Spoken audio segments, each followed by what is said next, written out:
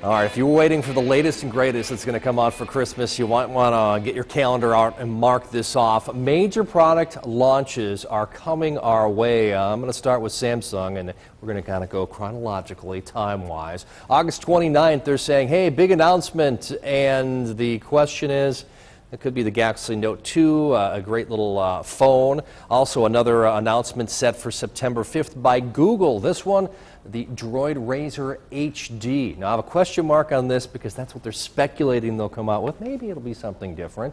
Microsoft, well, September 5th, the same day as Google, they're just throwing out tons of stuff, and they're pretty sure that it's going to include not only Windows 8, but a Surface tablet running Windows 8 and possibly a Windows 8 phone as well.